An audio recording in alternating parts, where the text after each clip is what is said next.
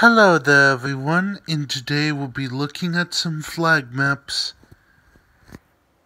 As you can see here, this one's Somaliland, this one's Azawad, and this one's Biafra. I hope you enjoy and have a glorious day.